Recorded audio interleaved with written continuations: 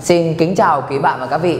Hiện nay đang là 7 giờ tối tại Hà Nội. Mình vừa tức tốc lao từ trường về đây Chỉ để trên tay một trong những sản phẩm mà mọi người đang mong đợi rất là nhiều, Đó là Galaxy S5 Cái cảm xúc lần đầu tiên khi ra mắt S5 Thì mình có lẽ cũng không đạt được những gì mình mong đợi như là mọi người.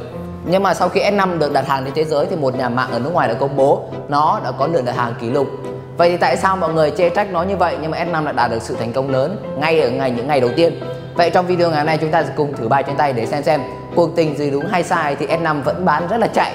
Cái cảm giác đầu tiên của mình khi cầm chiếc S5 này đó là nó khác S4 có lẽ là mọi người khi nhìn trên hình thì cho rằng S5 giống y chang nhưng thực tế là có rất là nhiều điểm khác biệt. Thứ nhất là Samsung làm cái một cái đường viền ở bên xung quanh, ôm lấy toàn bộ phần màn hình và cả phần xương của máy. Nó rõ ràng hơn rất là nhiều so với chiếc Galaxy S4 trước đây mà mình hiện nay cũng đang sử dụng. Bên cạnh đó thì viền màn hình của máy thậm chí còn dày hơn so với S4 cái này mình thấy khá là lạ, trong khi hầu hết các nhà sản xuất thì đều theo đi xu hướng là các thế hệ sau càng ngày càng mỏng viên. Thì Samsung S5 lại làm dày hơn một tẹo. Nói chung là cái sự khác biệt này các bạn nào phải dùng S4 thì mới thấy.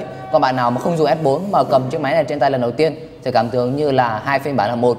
Ngay đa phím home cũng được làm nhỏ hơn và hoàn thiện của nó đẹp. Nói chung là mọi chi tiết của S5 thì Samsung vẫn giữ nguyên của chiếc S4 và chúng ta đánh bóng vào một số cái điểm khác. Ví dụ như phần khung xương thì nó sẽ được làm giống hệt với Galaxy Note 3 với các đường vân đó chúng ta sẽ thấy là nó lên và xuống đều đặn, chứ không phải là loại phẳng hoàn toàn, giống như Galaxy S4 trước đây. Mặt lưng thì ờ, hiện nay mình đang có phiên bản màu đen, và toàn bộ cái phần mặt lưng này cầm ngón tay rất là êm và mịn cái chất liệu này giống hệt với chiếc Nexus 7 lần đầu tiên mà Google giới thiệu là cũng có chấm nhỏ li ti ở phía mặt lưng. Và bên cạnh đó là làm bằng nhựa, nhưng mà có phủ lên một lớp dạng như kiểu là lớp nhung. Chúng ta cầm bằng ngón tay nó sẽ bám tay dễ dàng hơn, không bị vết bẩn cũng như mồ hôi vân tay. Đó, rất là tuyệt vời. Samsung đã cách tân về cái chất liệu cho cái sản phẩm của mình.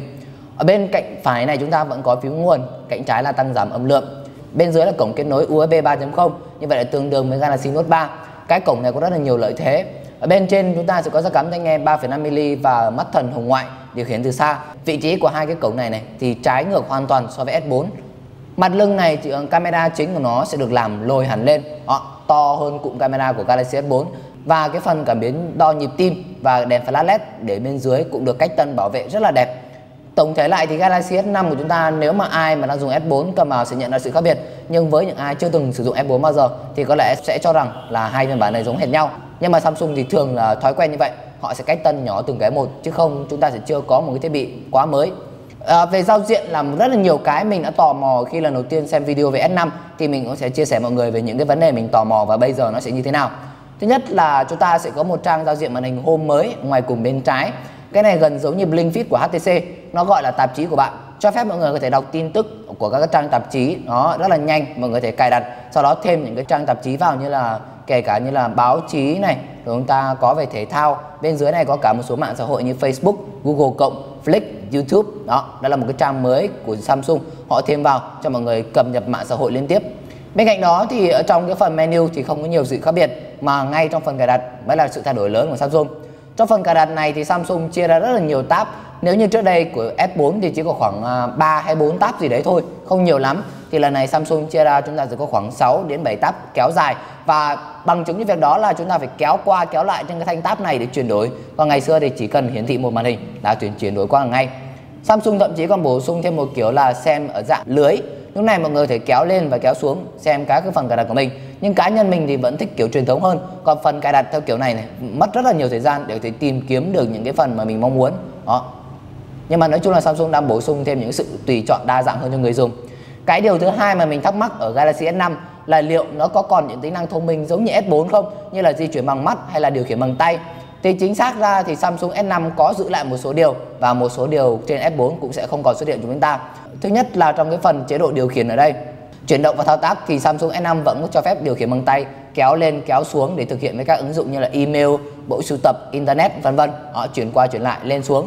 Nhưng mà tính năng điều khiển bằng mắt mà mọi người đã từng thấy ở trên Galaxy S4 hay là Galaxy Note 3 thì đã không còn trên chiếc S5 này như vậy có vẻ như là Samsung vẫn muốn giữ một chút gì đấy độc quyền trên các sản phẩm thế hệ trước của mình nên S5 sẽ không còn.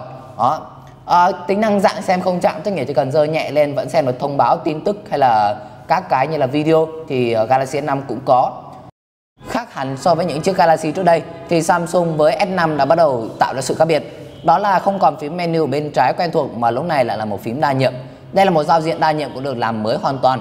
Đó và các bạn sẽ đặt ra thế thì tôi muốn bấm menu thì làm thế nào? Đừng lo. Khi mà các bạn với phím đa nhiệm này bấm giữ một lúc lâu thì nó sẽ chính là cái phím menu chúng ta cho phép mọi người thể thao tác thay, giống hệt với cái phím mà chúng ta từng thấy trên S3 hay S4 toàn bộ thế hệ của Galaxy năm 2013 về trước.